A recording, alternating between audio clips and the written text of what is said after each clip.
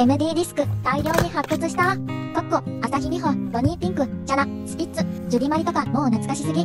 というわけで、MD を再生できる環境を作ります。ヤフオクを調べてみます。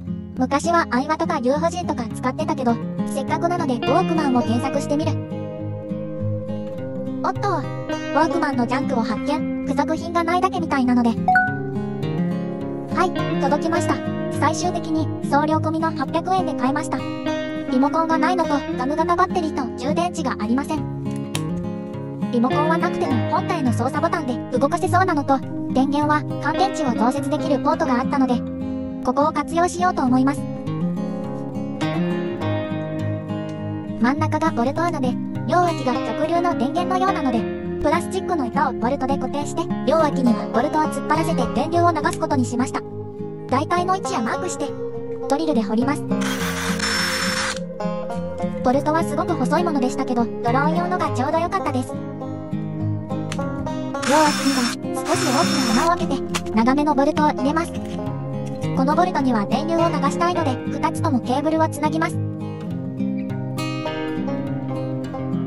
念のため、ハンダもしておきました。ケーブルのついた2つのボルトを板にねじ込みます。ウォークマンには真ん中のボルトで固定します。これで両脇のボルトはプラバンの弾力で接点を保ち続けます。電源は USB バッテリーのケースをリサイクルします。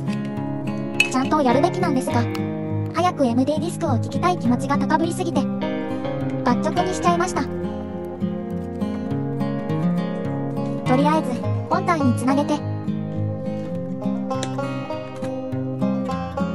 正しく電圧も出てるようなので、MD を聞いてみましょう。コッコのこの歌。懐かしいな。大学時代に何度も聞いたな。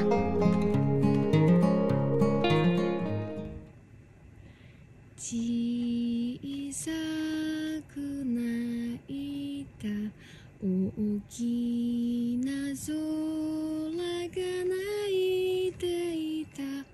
芽吹いたゴー遠い潮